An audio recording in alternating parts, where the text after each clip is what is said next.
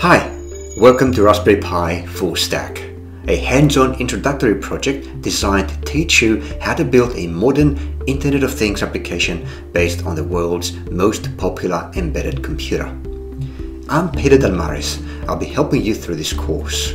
I'm a computer engineer, electronics enthusiast, and university lecturer for over 15 years.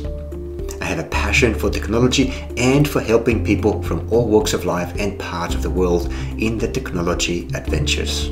This course is designed for people that have a basic understanding of computers and electronics, perhaps have knowledge of the Arduino and want to move onto a more powerful and flexible platform.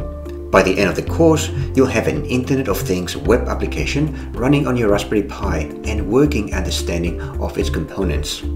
I've broken down this project course to 8 sections. In each section, I'll show you how to complete a single step of the application development process. We'll start with the operating system, add Python, and play with some basic hardware.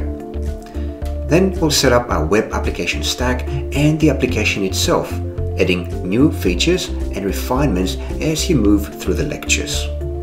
The ideal student for this course is someone that has at least basic working knowledge of electronics and some experience with programming.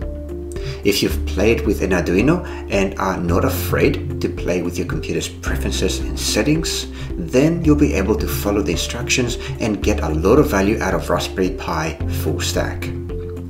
There are no requirements necessary to enroll, only ask you to be ready to learn and willing to put in the necessary time and effort. Thank you for your interest in Raspberry Pi Full Stack. Feel free to read the course description and I look forward to seeing you inside.